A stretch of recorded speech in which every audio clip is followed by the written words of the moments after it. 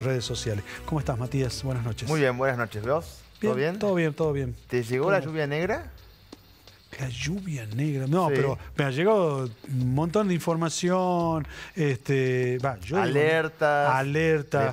Esta mañana me levanté y dije, se viene el fin del mundo. Exacto. ¿Qué pasó? Nada. Bueno, no ¿Cómo llegó. nada? No llegó, no llegó la lluvia negra. Por un lado, porque nunca... Me encanta, entonces las redes sociales me mintieron. Sí, hay un informe chequeado que dice que primero nunca hubo una alerta de lluvia negra ah, para Argentina. ¿Cómo que no hubo una alerta? Lo que sí hubo es Metsul, que es una empresa meteorológica de Brasil, que emitió una alerta para, esa, para ese país.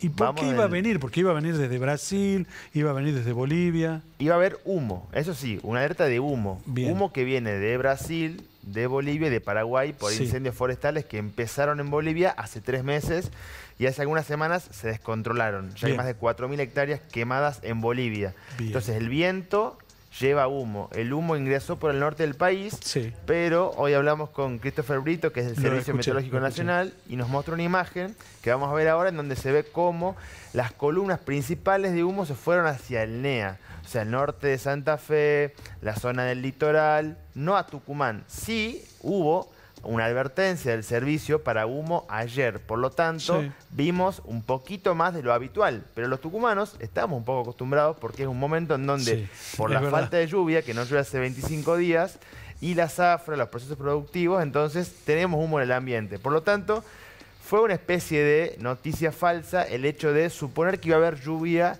negra en todo el país. No había ninguna advertencia, es más, dicen los que saben que no es que llueve negro, sino que de repente hay carbonilla, hay polvo en el ambiente. Algo de lo que sabemos los tucumanos. Exacto, estamos acostumbrados, llueve y después cuando se acumula el agua se ve un poquito eh, menos clara. Entonces de repente eso es lo que pasó, pero no está previsto que llueva negro, no se va a terminar el mundo, al menos por esta razón en este momento. Bien.